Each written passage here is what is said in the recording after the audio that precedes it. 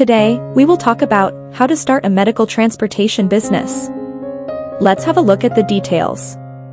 If you're thinking about starting a medical transportation company, that's great news. You've figured out that there's an increasing need for this kind of service which appears likely to continue growing, with no signs of slowing down. Step 1. Make sure you have enough money. With all of the associated regulatory startup costs, it can take hundreds of thousands of dollars to start your own non-emergency medical transportation company. You need to register your business, cover legal, insurance, permit, and licensing fees, acquire a facility, purchase vehicles, pay utility bills and wage expenses, launch a website, and cover other costs. Before you move forward any further, make sure you have enough money to launch the business. If not, you may have to sell some equity in your business to an investor, apply for a small business loan, or obtain a business line of credit. Step 2. Pick the right location. Look for locations that have dialysis centers, hospitals, nursing homes, and other senior assisted living facilities nearby. That's where you'll get most of your revenue. Don't forget that some students need non-emergency medical transportation, too. You may also be able to secure contracts through local school districts. Step 3. Take care of legal and insurance aspects. First things first, you may want to incorporate your medical transport company to start things off. You'll also need to figure out which kind of driver's license you need to take people from one location to another, which varies on a state-by-state -state basis.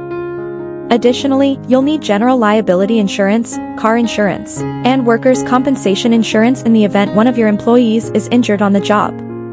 Step 4. Figure out how to market your business. Do some research to find out how much your competitors charge their customers and price your services with that in mind. Next, you'll want to send out some marketing information to prospective customers to let them know that you're open for business. Offering discounts is a great way to encourage people to give you a shot. Use social media to promote those posts. That way, when people are looking for a company that offers your services, they'll find you. Step 5. Make sure you can collect payments. Every business needs the ability to collect payments. Medicaid payments will most likely be a major portion of your total receipts. The laws vary from county to county, so make sure you're familiar with the ones that affect your business before launching. Aside from the Medicaid patients, some clients will be able to pay bills by themselves either by writing checks or paying with cash on the spot. If you run into cash flow problems while waiting for checks to come in, you can use an invoice financing service like Fundbox to advance payments on outstanding invoices. Step 6. Hire employees as your business grows.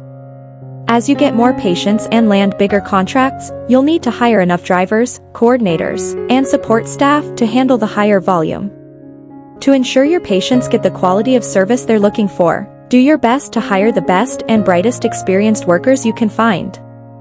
Assuming you're the CEO, you'll need to hire drivers and an office manager.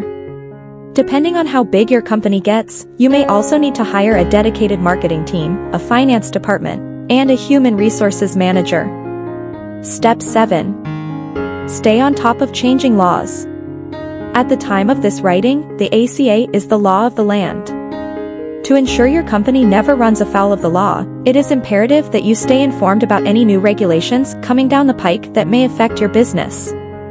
You will also want to stay abreast of potential changes to tax laws that impact your company.